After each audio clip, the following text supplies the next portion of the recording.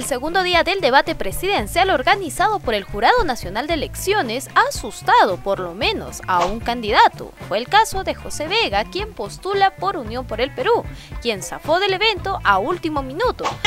¡Miradme! ¡Soy diferente! ¡Soy especial! Durante el primer round, sobre la gestión de la pandemia, los candidatos Andrés Alcántara, Ollantumala, Daniel Urresti, Pedro Castillo y Hernando de Soto fueron por caminos diferentes, pero con el foco en las vacunas quien no dudó en asegurar que dará luz verde a Tía María y a otros 300 proyectos mineros fue el economista Hernando de Soto.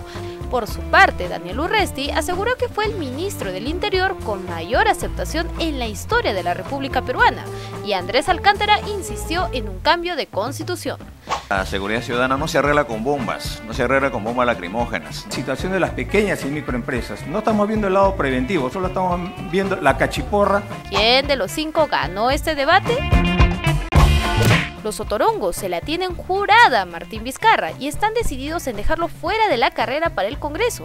Más aún, luego de conocerse que la lista al Parlamento de Somos Perú, liderada por el expresidente, es la que lidera las preferencias en Lima Metropolitana y la segunda a nivel nacional. Sabedor de la bronca que le tiene en el legislativo y el rosario de denuncias constitucionales en su contra por el caso Vacuna Gate, el moqueguano presentó una medida cautelar ante la Corte Interamericana de Derechos Humanos, con lo que busca bloquear el pedido de 10 años de inhabilitación del ejercicio de cargos públicos que esperan aprobar los otorongos.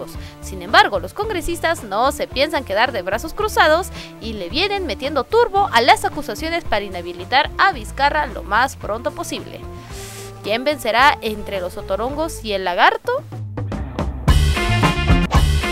Hoy se dio la primera visita del mandatario Francisco Sagasti en Arequipa para asistir al Hospital Honorio Delgado y atender otras necesidades del sector salud.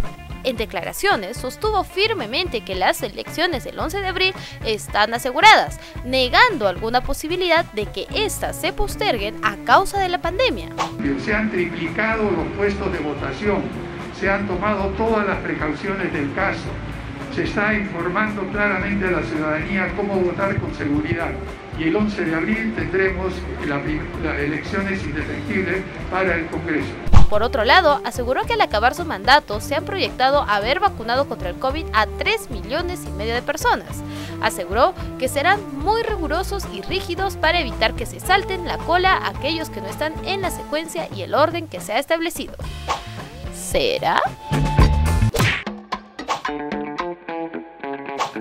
Presidente de la República, Francisco Sagasti, estuvo este martes en la inauguración del área de emergencia del Hospital Honorio Delgado, recientemente remodelada por el gobierno regional de Arequipa. Las obras físicas demandaron una inversión de más de 6 millones de soles y demoraron cuatro meses en culminarse. Sin embargo, aún no entrará en funcionamiento, ya que todavía falta la instalación de los equipos médicos, así como la contratación de más personal de salud.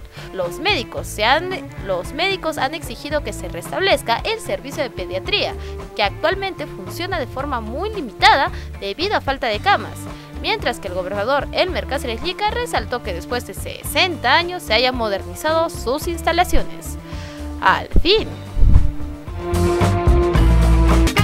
Eso fue todo por hoy. Si deseas saber más de esta y otras publicaciones, visita nuestra página web o nuestras redes sociales. El Búho, la mirada del interior.